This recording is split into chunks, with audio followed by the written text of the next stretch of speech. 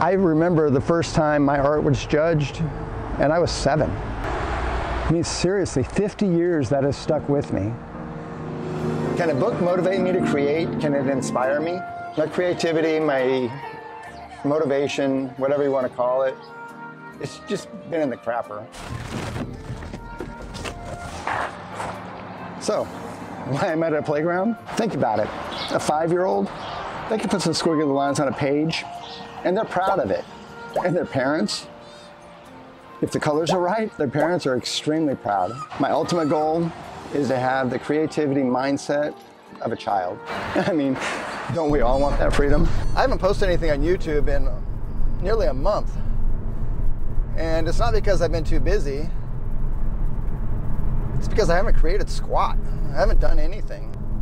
My last video, it was a drawing that I did make probably three months ago. I just wanted to get something up on YouTube. I just didn't want to be that guy that doesn't continue doing YouTube, you know? But other than that, I mean, what's happening? We spent the entire month of December traveling pretty much all over the country. We hit four states in three and a half weeks.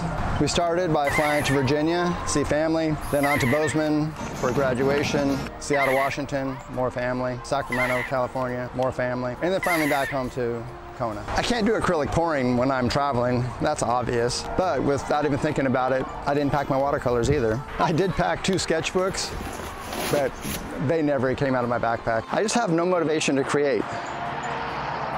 Is that what you call a creative slump? For a while, I thought my creativity was just moving to YouTube, but I haven't been motivated to create there either. I need an answer. Where do we go when we have questions? YouTube. I see a lot of people recommending The Artist's Way by Julia Cameron.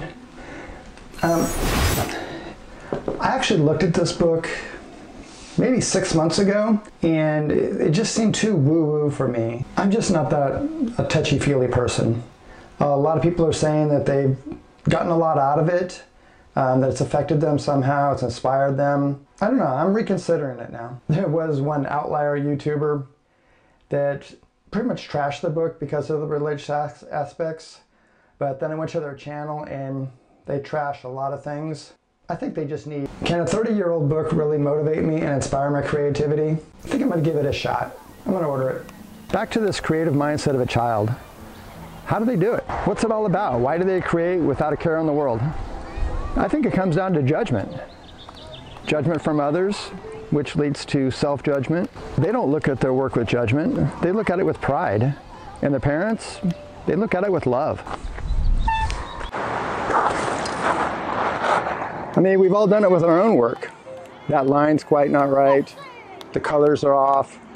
We messed up that perspective.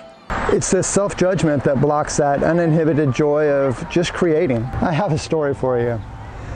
I'm knocking on the door to 60, but I remember the first time my art was judged, and I was seven, maybe six, six or seven.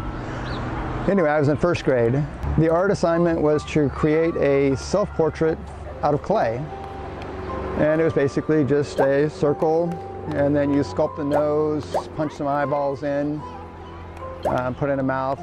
I put in teeth, and I colored those teeth blue. To this day, I still remember the teacher walking up behind me and saying, why did you paint your teeth blue? Your teeth aren't blue. And she was probably right, but still, it was a judgment on something that I created, and I still remember it to this day. I mean, seriously, 50 years that has stuck with me. I think this judgment by others leads to self-judgment, which in turn leads to self-doubt, which leads to frustration, and finally you have art block. You're so frustrated with your own work that you don't know what to create. It's this lack of judgment that gives children the freedom to create. To just create.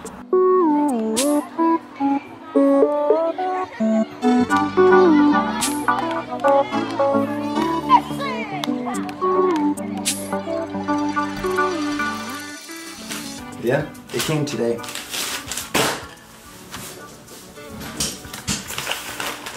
I'm actually pretty excited about it. Um, see what it's all about. Actually got The Artist Way. And I went ahead and bought the workbook also. I purposely didn't watch videos that went into depth with the weekly lessons. I wanted to go through it with an unbiased opinion and just see if it actually works. I know the daily writings or morning pages are a huge part of it and then also there's an artist date that you're supposed to go on weekly. But that's really as far as I know. I really didn't get into what each each lesson was about each week. I am planning to do some videos, a follow-up, and let you know how this actually works for me. I'm not sure if they're going to be weekly, bi-weekly, monthly. I have no idea. It just depends on what feels right to me. So, have you ever suffered from creativity block, creativity slump? How'd you get past it?